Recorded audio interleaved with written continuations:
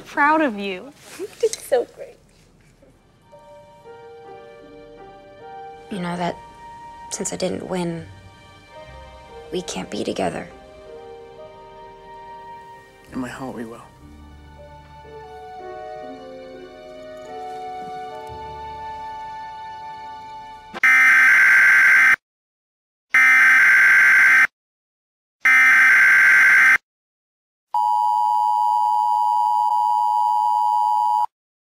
This emergency alert is being broadcasted by the National Aeronautics and Space Administration. On this day, July 14, 2026, we regret to inform the United States of America and the rest of the world that an asteroid is en route to hit the Earth. The date of collision has been estimated to be July 19, 2026.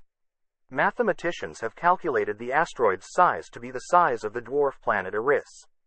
Astrologists have declared that the asteroid will hit the northeastern hemisphere, specifically in the countries of East Soviet Russia, North and South Korea, China, Mongolia, Kazakhstan, Kyrgyzstan, Tajikistan, and Japan, as well as the Pacific Ocean.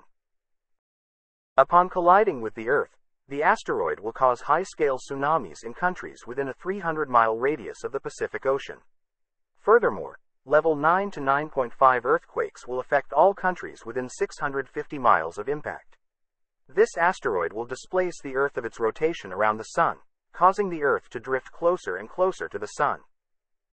The world will be coming to an end shortly.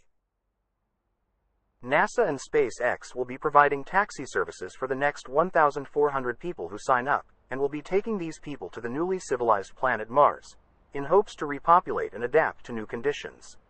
Sign ups for evacuation will be going for the next two minutes on www.nasa.gov mars evac. After the two minutes, sign ups will close. For further questions and concerns, please call 202 358 0001. Thank you and please enjoy the rest of your program. This has been brought to you by NASA.